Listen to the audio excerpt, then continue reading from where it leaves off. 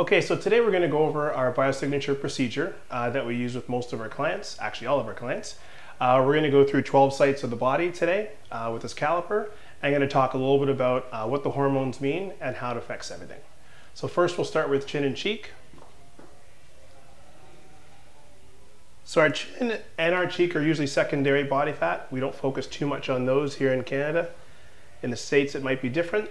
Uh, chin is what we call secondary refined carbs. So if you go and have sushi on the weekend, uh, we'll see a difference in our, our, body fat there.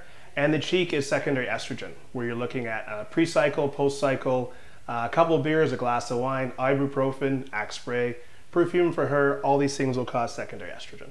Next, we're gonna go to the pec region. She's gonna take her thumb, she's gonna push it in her leg, perfect, good. Stay like that, and relax. Good. So PEC region talks about how much testosterone we have, how much we're converting to estrogen. It's also a secondary immunity site, so I find if someone's getting sick, you're going to see testosterone kind of go down. Okay? We're going to face that direction. Tricep is next. Okay, this is going to talk a little bit about uh, all the hormones in our body and how they work together. Good, drop and relax. Good stuff. Okay, so when you go back to tricep, it tells us a little bit about also how our immunity is going, as well as all the androgens and all the other hormones in your body. So if Deanne, let's say, doesn't sleep for four nights, she goes to Vegas, has a great time, uh, tricep movement's gonna go up. Okay, it's gonna recognize that shift in the hormones. Okay, we're gonna face that direction. We're gonna do subscap next, which talks a little bit about how genetically we deal with carbohydrates, how our insulin is.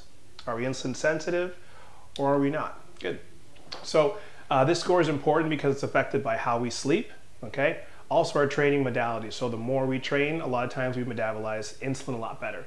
So it's a very important site for a lot of people, which tells us also, should we be having fats? Should we be having carbs? What should we be eating? Okay, next we go on to, we're gonna do right arm on the head. Good, we're gonna do the waist right there. So we're gonna do mid-axillary, which is right here and talks us a little bit about our thyroid and how that's working, okay? So our thyroid meridian obviously is going to tell us uh, it's affected by cortisol, stress, and insulin. So it's a pretty tricky site for a lot of people. Um, so if any of those hormones are out of whack, it's going to increase body fat in this area. So when we fix those three hormones, we find the thyroid starts to work again. It's an important site for a lot of people, especially women that are pregnant or finished their pregnancy, because they've had a long time of not sleeping, not eating well, and obviously a lot of stress. Next, we're going to go back to our, our second insulin site, which is very important. It's actually the only site we control. And it's our suprailiac crest, and it's about controlling what you eat, the times, the quality, and the quantity. So this is different from the site we had back here, which is more of a genetic site. This site is fast to move, easy to fix, but also one that we control with our eating. It's also the number two uh, most difficult site for North Americans.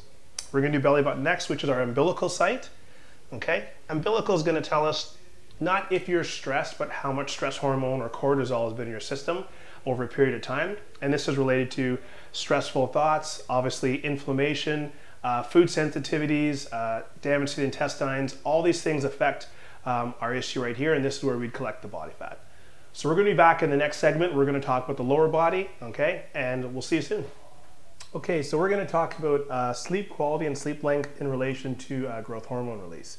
So when we do that, our sleep sites are our knee and our calves. So we're gonna test those out uh, see what we get, and talk a little bit about why these are important. All right, and put the tool that way, good. Good. Yeah, so great sites again uh, for Deanne. So showing a couple things that uh, your sleep is regulated uh, throughout the night for different things. So think of it as if there is sleep disruption, A will collect body fat in these areas. Uh, but most of North Americans have some sort of sleep issues because we have cell phones in the room, we have LED lights in the room, uh, we sleep with the TV on, we have light coming in the windows. All those things will disrupt your sleep and give you that uh, five or six minutes to fall asleep at night, that disrupted sleep in the middle of the night, the snoozing two or three times in the morning, or the 2 to 3 uh, p.m., maybe afternoon kind of crash that you get. Those are all shows of ways that we're not sleeping well. So for us, a couple things that you can do is also obviously remove those things. We also want to look at what's affected. So let's say 11 to 1 is a severe insulin time. So people that have, let's say, a glass of milk and an apple before bed, it'll disrupt their sleep during those times. Uh, between 1 and 3 p.m., those are different things. Your liver is actually doing a lot of cleaning during that time. So it's important that, you know, imagine if every night those times are being disrupted, we're going to have issues as well. Okay, yes, I'm in an awkward position, but either way, we're going to focus on the quadricep now, uh, which for a lot of women and some men are a big site of issue. Um, obviously, working on estrogen. Uh, so the liver site is one of the ones we're going to look at right now. And when we test the site, uh, we try to keep it right in the center. She's going to do a leg extension for us. Good. And then drop and relax. Good. So Deanne's score is perfect. She has, you know, 15 millimeter there, which is a great score for quad. Uh, a lot of women probably hate her right now.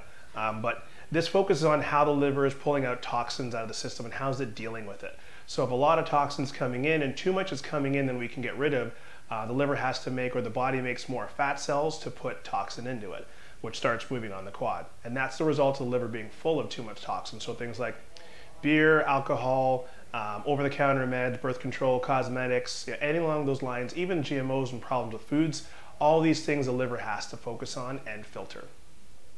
All right, so we're at our last site, uh, which is the hamstring. Uh, a pretty serious site for, I would say, for most women uh, to get leaner and to get in condition. And a lot of it has to do with toxins coming into the body. So uh, think of the hamstring as it picks up the things that are coming on a daily basis. So if on the weekend Deanne and I go out, we have white wine all weekend and you know a couple of shots, both of our hamstrings are going to increase with some body fat. It's going to recognize it. The difference will be how fast can you pull that toxin out. Uh, some people can't, so there's an accumulation of body fat in the hamstring and it stays that way. Other people, great at pulling it out, it'll go up for a couple days, come back down. The site we measure is right here, just below the glute fold. She's going to do a leg curl for us. Good, drop and relax. Okay, as again, same thing, great score for Deanne, so 14, which is a great score. Shows her body has the ability, A, to pull out toxin, but also there's not a lot of toxins coming in. So I hope you guys really enjoyed our segment on biosignature. Uh, you can check it out at www.belite.ca for more information uh, as a great way to learn to regulate hormones and focus on stress-reduced fat loss.